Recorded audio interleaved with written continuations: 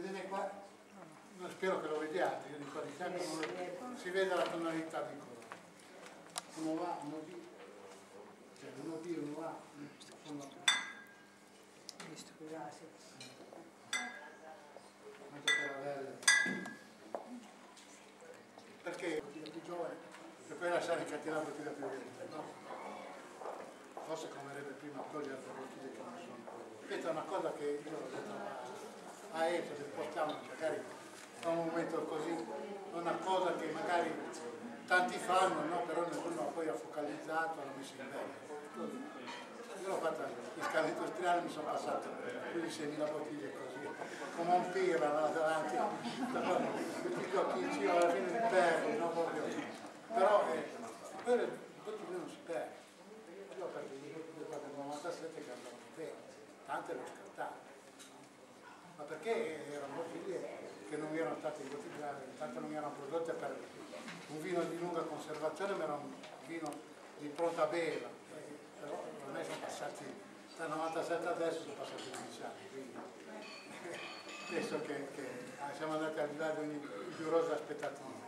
Però ecco, questo non vuol dire se uno invece produce per poi bere dopo, allora deve attrezzarsi per poter, poter fare. Tecnica migliore è quella di bottigliare più tardi possibile, però i tempi di bottiglia, ma quando il vino è, è solo nella bottiglia, un, la bottiglia è un netto a sé stante, no? ha il parametro tappo, il parametro clima, il parametro dove viene conservata, no? sono molte cose che influiscono vicino sulla conservazione del vino. Però uno dice, vabbè, se c'è in cantina, se non c'è la, la lampada tra lucida, la guarda con la luce, magari vedo un, cioè guardando con la lampada che è. si vede, si vede, si vede, basta, però parecchie, se ne ha due non riesce a capirci nulla, no? Però diciamo che quella, tra le due è quella che ha riflessi più sul rosso, sulla, è quella più vecchia, più matura.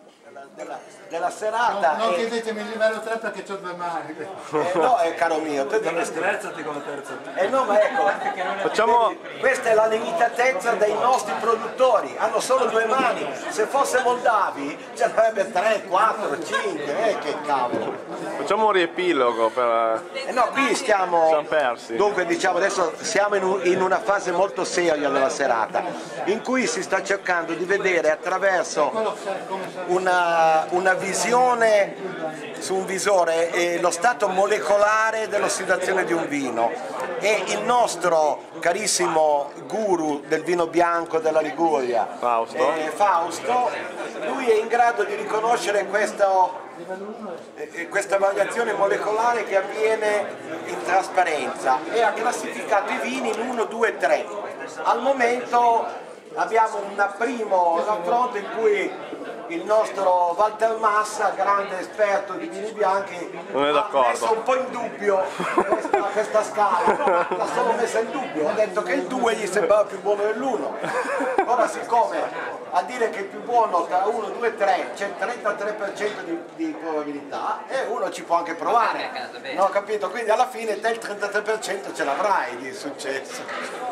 Allora, qui uno che vorrebbe dire questa puzza di tutte queste di questi arbusti che ci sono, no? queste, queste cose vicino al mare, il sale, no? tutte queste schifezze che. Mamma, ecco c'è questo pesce che butta nella spiaggia, no? Dio mio, le pesci adesso, addirittura anche i funghi, trova anche i funghi in riva al mare questo, ma come fa?